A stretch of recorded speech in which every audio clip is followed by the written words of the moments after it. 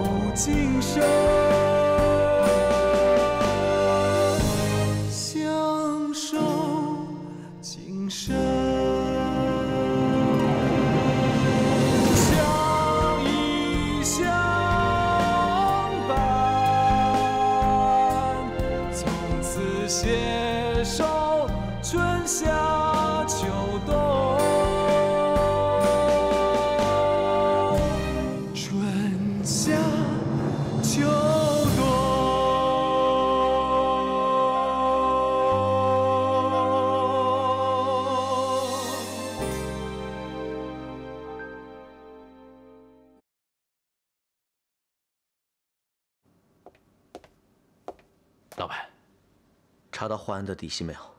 查到了，他现在化名姓金，自称是商人，但是很神秘，很低调。这都不重要，重要的是他怎么和罗浩东搭上的？他们在一起做什么？嗯，好。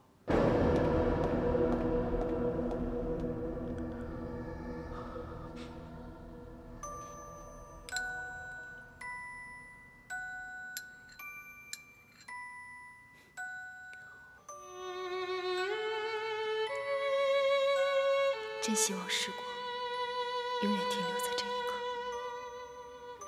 雨桐，雨桐，你在想什么？你不觉得我们这样才像是夫妻吗？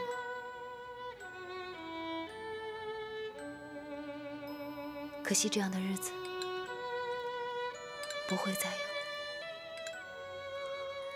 怎么会呢？我不是已经回来了吗？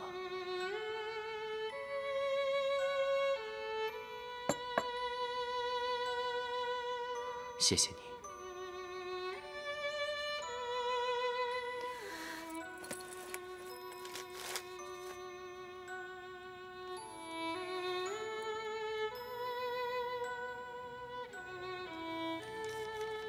这是你留下的离婚协议书，我在上面签了字。现在，我们算是正式离婚了。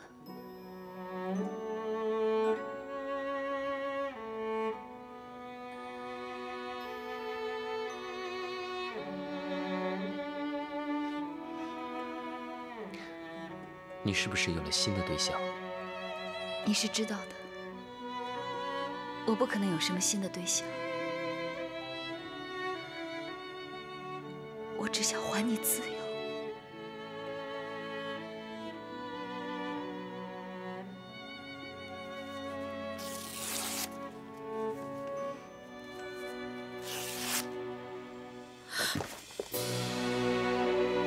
为什么？你为什么要这样？你一直对我避之不及，现在终于有机会可以摆脱我了，为什么要放弃啊？你要知道，以后可能不会再有这样的机会了。经过了这件事情以后，我想通了很多事情。我们会走在一起，我们会结婚，这是天意。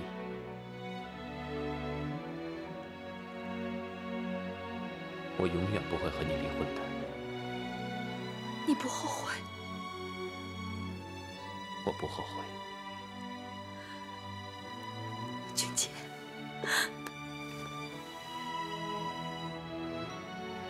想到你会跟我说这些。我要跟你做一辈子的夫妻，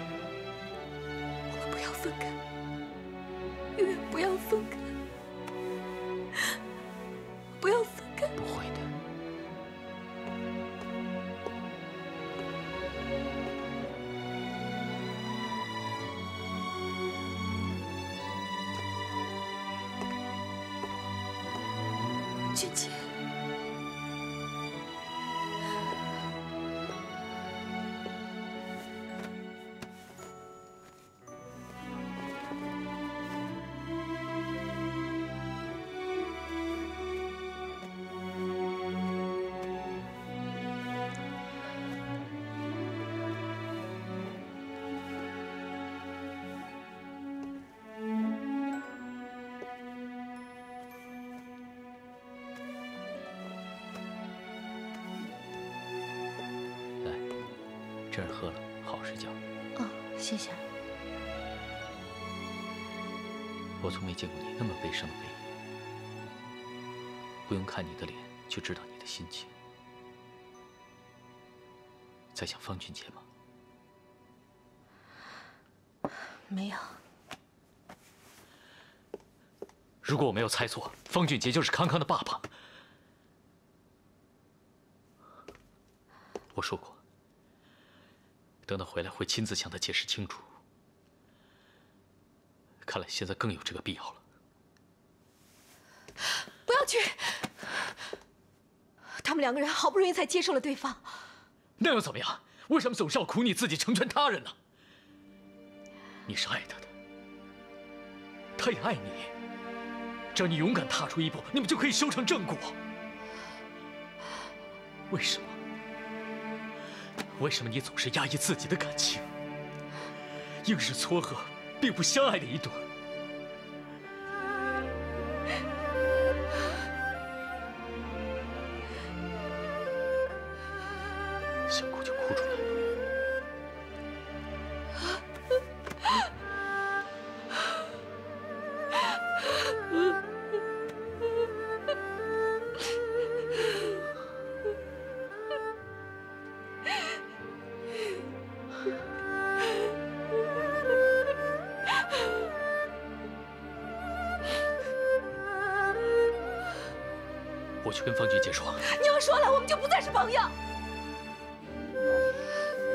自己也在折磨我，你知道不知道？他第一天见到你，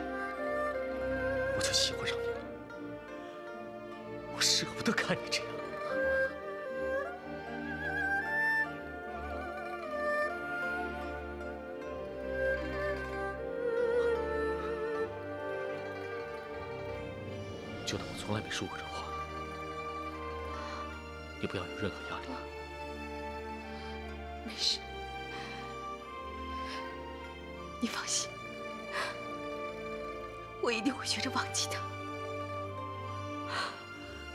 相信我，忘记他，忘记他，忘记他。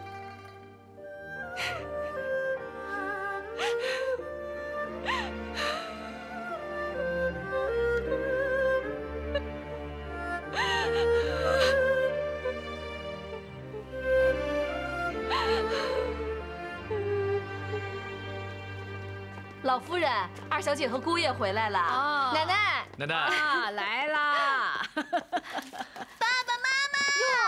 康康，还有爸爸爸爸呢。呢？哇，嗯，康康，有没有乖乖听祖奶奶的话呀？有没有骗爸爸吗？没有？嗯，康康好乖哟。康康，有没有想妈妈呀？有，真的假的？当然是真的。康康还想爸爸。哎呀，康康真乖，真爸爸乖也想你。啊，好，老夫人，是不是可以开饭了？啊，那就叫雨桐跟俊杰出来吃饭吧啊。我们康康长大了，现在是小男子汉。了。奶奶，哎，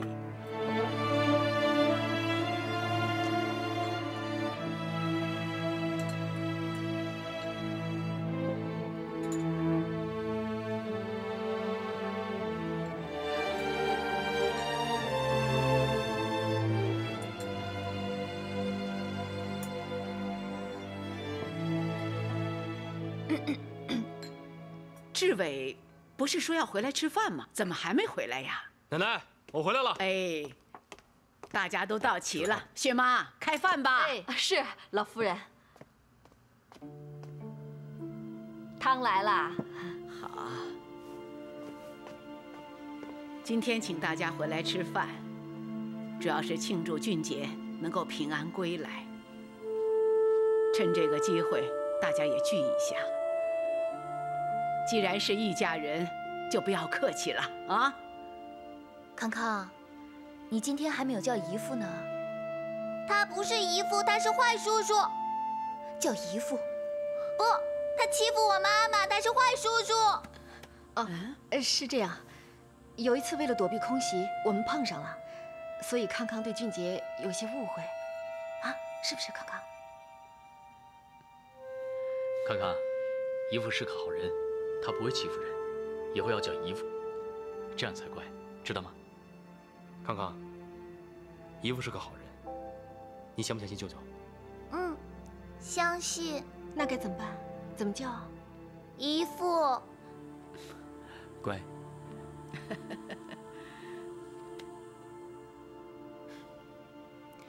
今天还是第一次，两个女婿在同一个桌上吃饭。希望以后能常有这样的机会，这样奶奶一定会很高兴的啊！那当然了，奶奶岁数大了，还图个什么呢？希望以后啊，你们能够常常回来看奶奶，好不好？嗯，好的。只要我有空，一定常回来陪奶奶。哎，那真是太好了！来来来，大家吃饭吃饭，来，康康吃饭啊！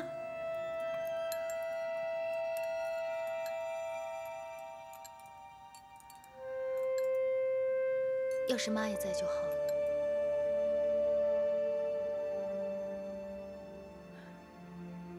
哼，志伟啊，来，多吃点菜啊。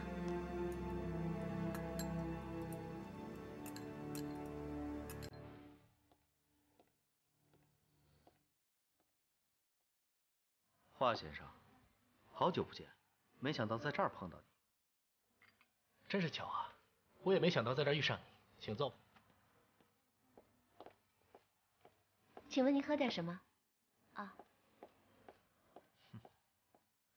其实我已经不是第一次见你。你认识我们罗总？罗总大名鼎鼎，谁不认识？那你跟他是什么关系？我们是生意上的朋友。罗总为人海派，很会照顾人。我们出门在外，能认识这样的人物，非常幸运。只是这样吗？别净谈我呀！你呢？机器到手，赚翻了吧？什么机器啊？明人不说暗话，你能认得出我来，我就认不出买大发机器的幕后黑手。是你不讲信用，说好跑得远远的，却跑到重庆来，你不怕苏家的人活剥了你？重庆这么大，要碰上还真不容易呢。再说了，你要不说，谁认得出我来？你不要太笃定，苏家的人不是那么好对付的。苏家现在已经贫困潦倒，是另一个阶层的人了，我一点都不担心。倒是你，你今天突然出现在我面前，这不会是巧合吧？你离开重庆，我们相安无事。这你管不着。我提醒你，我们的交易已经银货两讫，互不相欠。我跟罗总很熟的，也许你很想让他知道你曾经背叛东家的事。那我也告诉你，把我逼急了，我会不惜玉石俱焚，把你咬出来。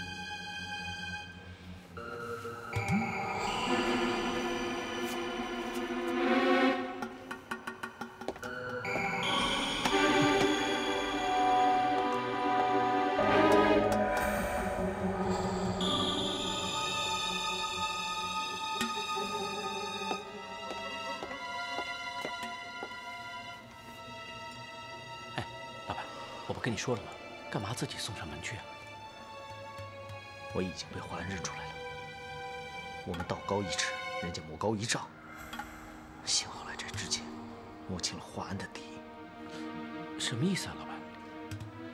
华安背后可能有靠山，而且来头不小，否则他不会那么有恃无恐。真想不通，华安在香港究竟做了什么？怎么好像换了个人似的？那气势、城府，已经不是当年的吴下阿蒙了。哎，老板，那我们要小心提防这个人了。不行，我不能让华安掐着脖子走，我得赶紧抓住罗浩东。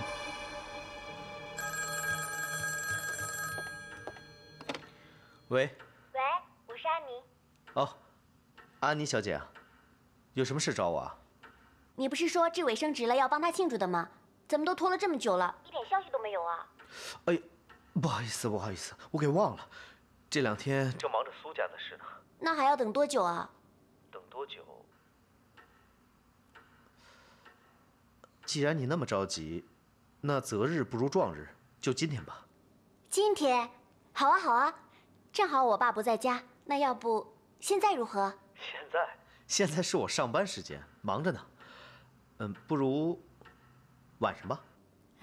那好吧，那地点你打算定在哪里呢？我到时候定好了地方，再给你打电话吧。好的，再见。嗯。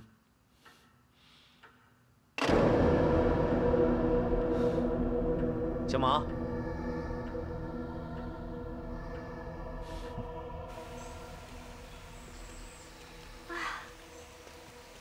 你看好美呀，还说不来呢，不来多可惜呀。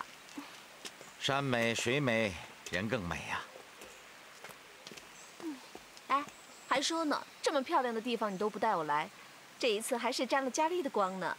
哎，我哪有这么大的面子？你们两个是要比谁的面子更大？哎，你看上面有个凉亭。从那儿看整个重庆城，一定很漂亮。我们快上去吧，啊，快走！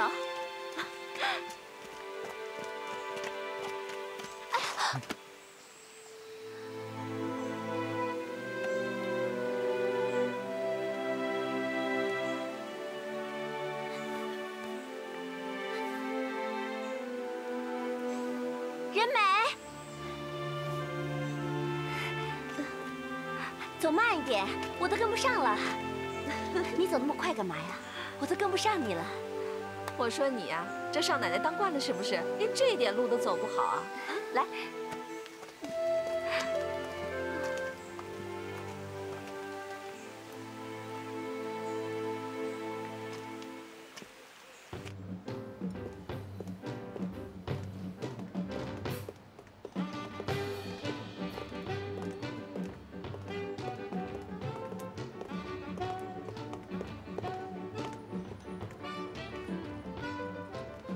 哎，志伟，来来来，这边。什么事？啊没想到吧？来坐。坐呀！你们干嘛搞得这么神秘？是安妮，她一定要给你个惊喜。恭喜你高升。真的真的不敢当大小姐。哎，现在我不是什么大小姐，我是以朋友的身份来给你庆祝的。对对对，我今天也不是什么肖总，而是以老同学、老朋友的身份祝你步步高升。哎，酒我就不喝了，真的。我好久没来这种场合喝酒了，而且我待会儿还要送大小姐回家，你们喝吧。我说志伟，想当年在上海，你堂堂一个大少爷，这种地方你也没少来啊，怎么突然之间转变这么大，脱胎换骨了？我觉得我现在挺好的。好了好了，既然今天大家来到这个地方，就好好的玩，一定要开开心心的，不醉不归。我们也是一番好意，你就别扫兴了，来喝。对，来。嗯。嗯。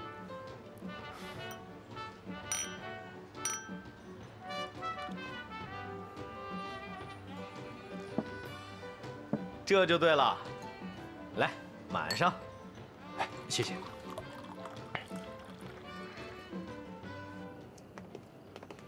哎呀，今天这酒喝的好痛快呀！没想到罗大小姐的酒量如此惊人呢。你也不差啊，你才是九国英雄。九国英雄。好，志伟，那就麻烦你送一下罗大小姐。好。我的车在那边，我先走了，路上小心啊！再见。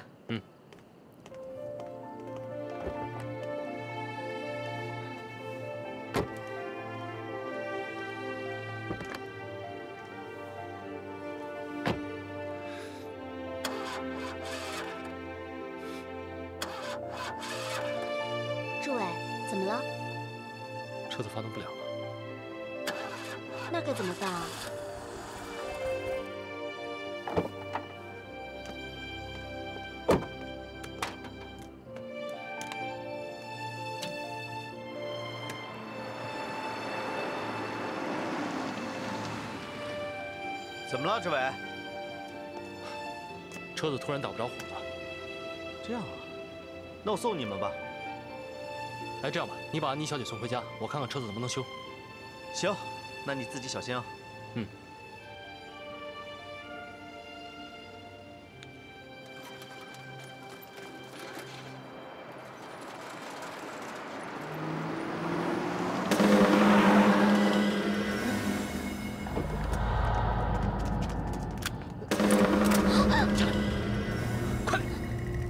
下车。范婶，大小姐呢？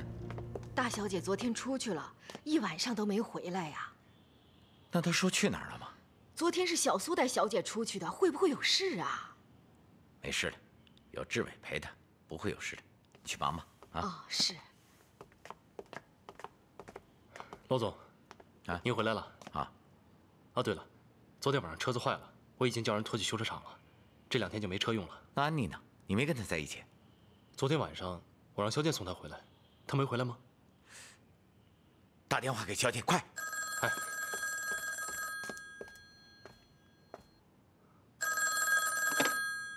你好，罗公馆。警察局。昨晚我们警察巡逻时，发现一辆轿车弃置在路边，车子外壳有打斗造成的破损痕迹，车内遗下一只女士用包，包内发现一张昆大学生证，会长您看看，照片上的人是不是令爱？是我女儿。那驾车的人呢？你认识肖剑？我们是朋友，昨天晚上我们还在一起。估计他们两人已经遭到了绑架。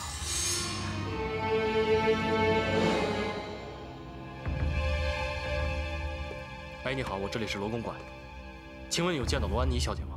没有啊。呃，麻烦你，如果有罗安妮小姐的消息的话，第一时间通知我，可以吗？好的。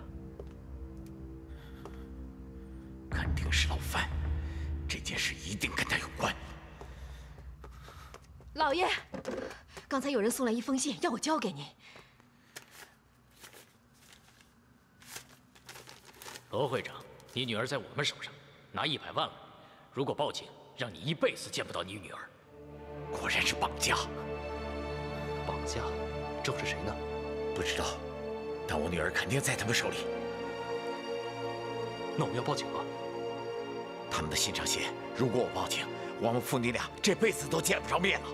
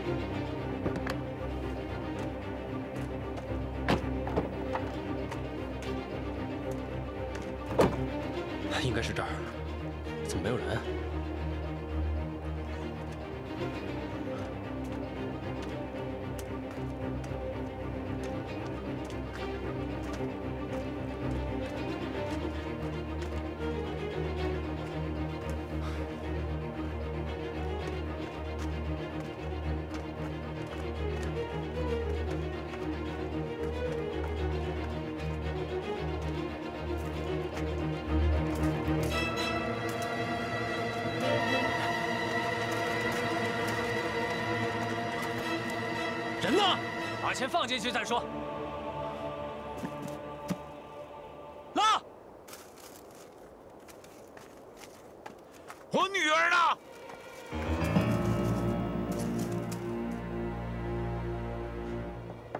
要找你的女儿，去岭南宾馆二零七房。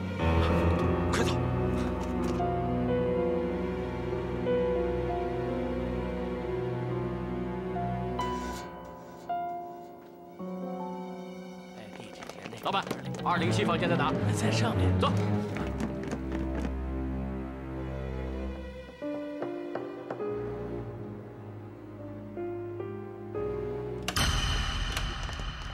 安妮，走，安迪，是。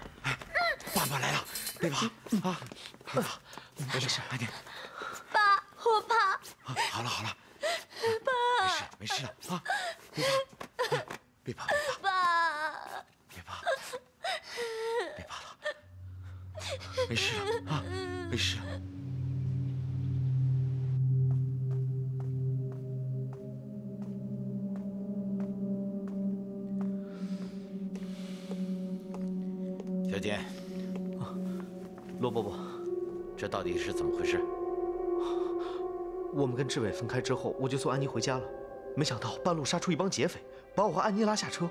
我们当时被打晕了，等我们醒过来，就已经在旅社房间了。娄总，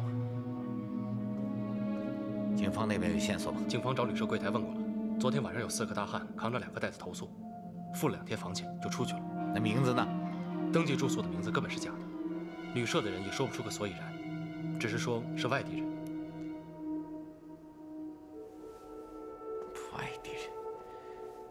重庆有这么多的外地人，上哪儿去找啊？难道这事就这么算了？哼！幸好安妮还没有事，否则我不可能就这么算了。现在就当是破财免灾了吧。安妮没事就好了，我有点累了，想回去休息休息。嗯，小姐，要不要我送你？哦，不用了，你还是留下来陪罗伯伯和安妮，他们需要你。你小心点。我先走了。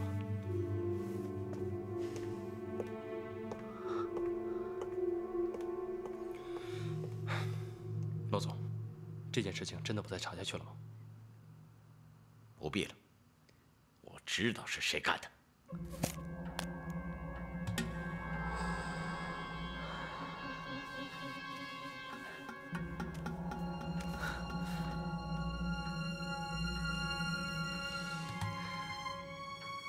小马，办事越来越利落了。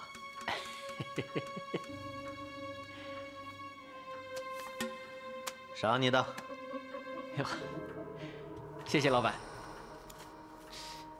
哎，老板，我在想啊，那个罗会长也不是什么好惹之人，我们这么做会不会有麻烦啊？我 也是受害者，罗浩东就算有十个脑袋，他也不会怀疑到我的头上。再说了，只要计划能顺利进行，就算他以后发现什么，他又能奈我何？对呀，老板，您太聪明了，嘿，日后我还要向您多学习学习。嘿嘿嘿。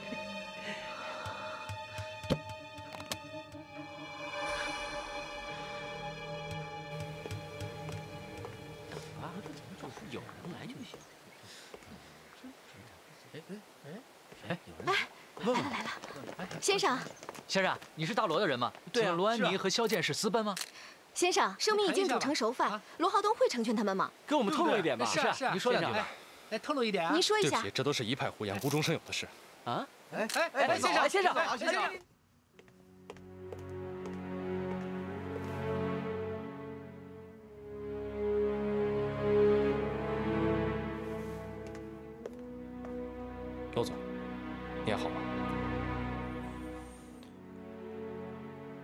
那你说怎么会有这些谣言？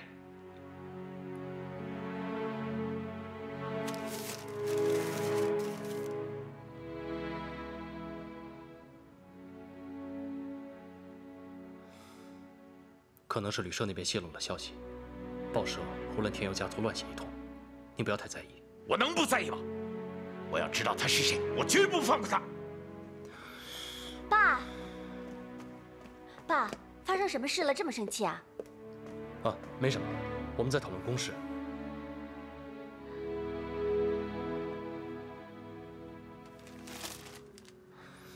报纸给我，没什么，给我。老总，他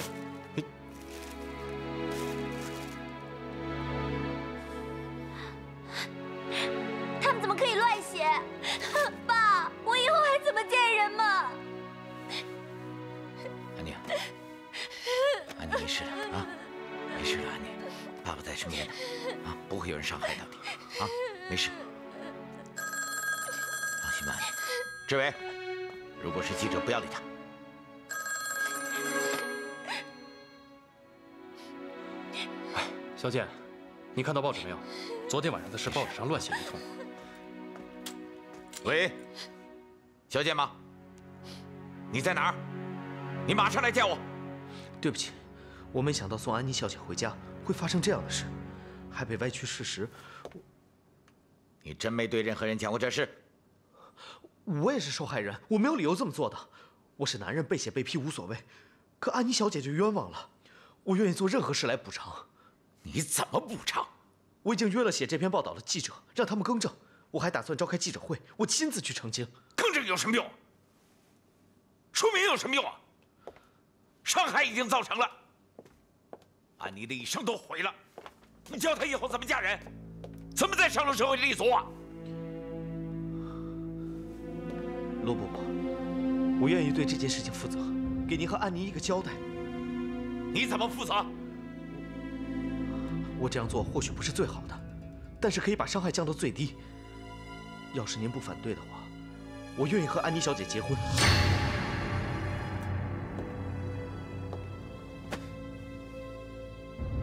你喜欢安妮吗？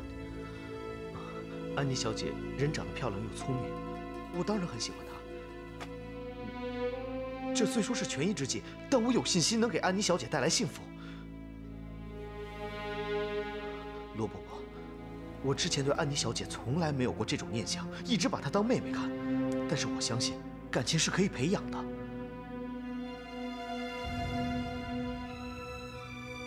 事到如今，除了两个人结婚，似乎也没有更好的办法。幸好小姐无论家世和外表，和安妮都很相配。只有这样了。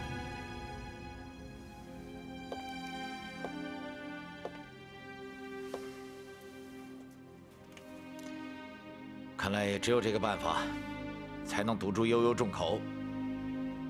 着手筹备婚礼，越快越好。是。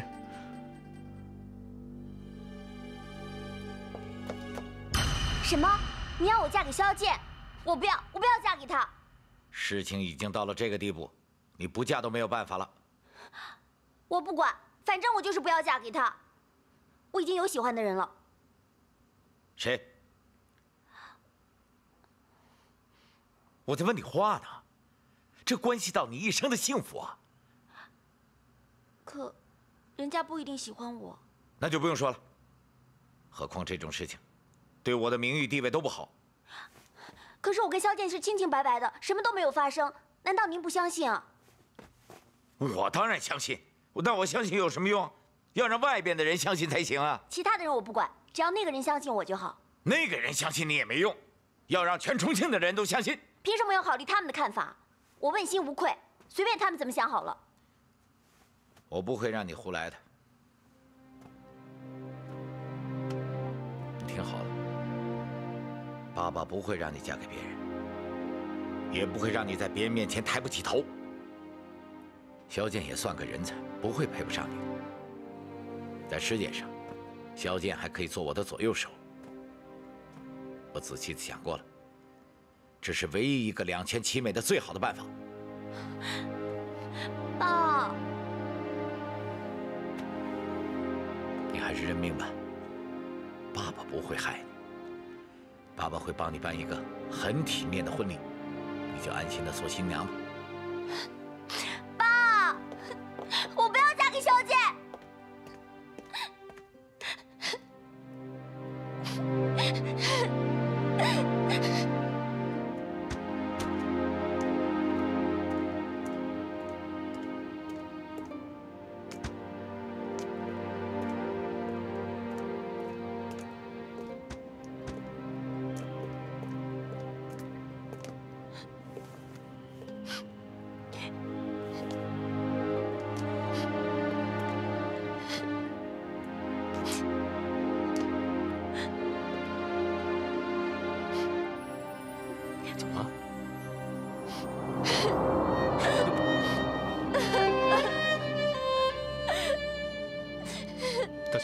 你冷静点儿，你是不是气糊涂了？来，你快去告诉我爸，你要娶我，我不要嫁给萧剑。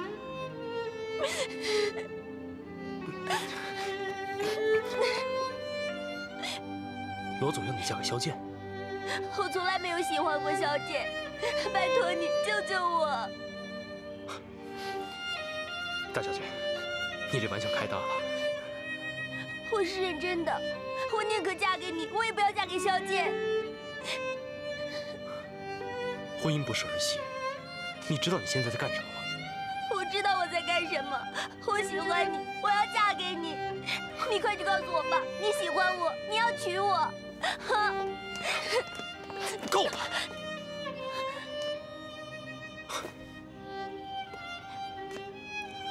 我从来没有喜欢过你。你告诉我你是喜欢我的，你为什么不敢承认？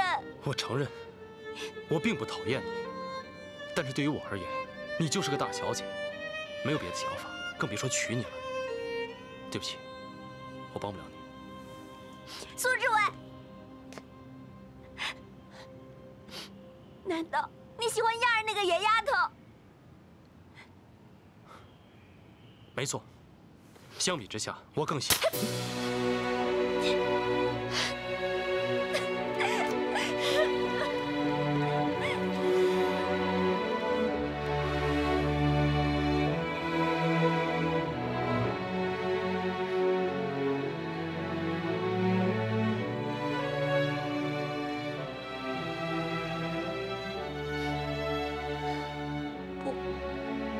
我不要放弃，我一定要追求属于我自己的幸福。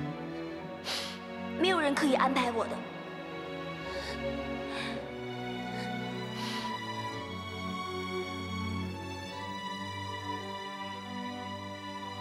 崔阿姨，不好意思，这么晚打扰您了，我有急事找小崔。好，你等一下。喂，我是小崔，哪位？小崔，我是安妮。你听我跟你说，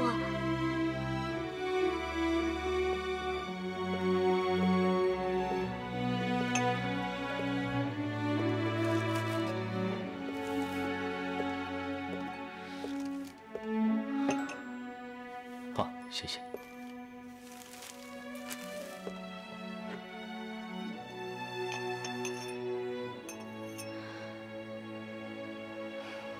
别再看了。你这两天忙，我一直想问你，我想知道你对安妮这件事情是怎么看的？在我眼里，安妮还是个未成年的孩子。不知道因为什么事突然就要嫁人，我有点转不过来。是啊，别说你了，连我都觉得很突然呢。而且，安妮、萧剑，他们两个人是完全没有感情基础的。你很了解他们。啊也不是，只是那天啊，我有事找罗总，一不小心听到了。罗总啊，他是为了要平息谣言，所以才决定把安妮嫁给萧剑。是这样吗？照理说，萧剑结婚，我的噩梦也解除了，我应该觉得高兴。可是我想到，这关系到安妮一生的幸福，我不得不告诉你。至于萧剑的为人，我几年前就领教过。如果说他是真心爱安妮也就算了，我就怕不是，我就怕他对安妮另有企图啊！有什么企图？我不知道啊，所以为了安妮的幸福，我们就不要着急了，还是观察观察萧剑再说吧。那我真得找我大哥好好谈谈。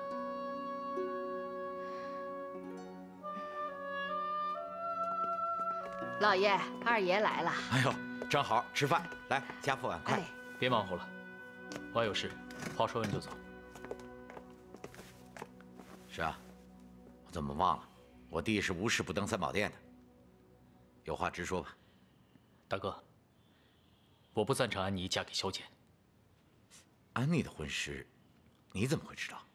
这不重要，重要的是他们的婚事能不能取消或者暂缓。好吧，但是你得给我一个理由，我会听你的。你怎么可以让一个杀人凶手当安妮的丈夫？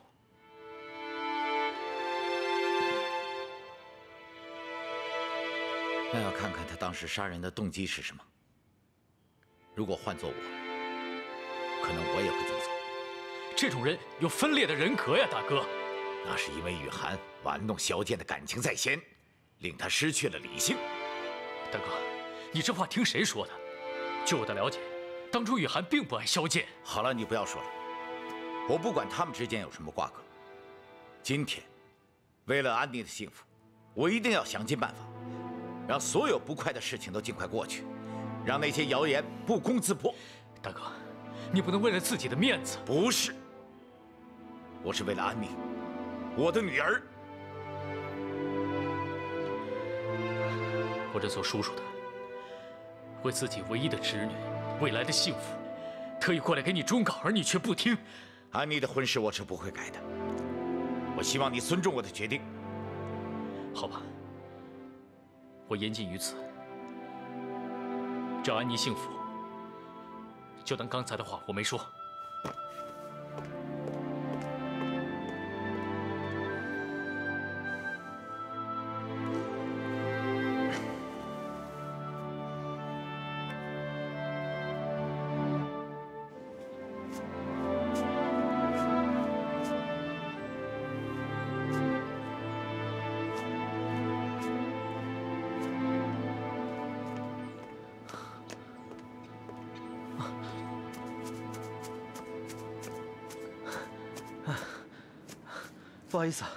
我来晚了。不怪你，是我通知晚了。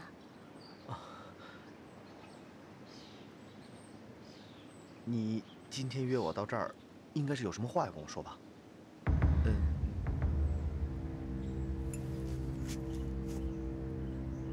既然上天把我们绑在一块儿，那我们就应大家的期望，结了吧。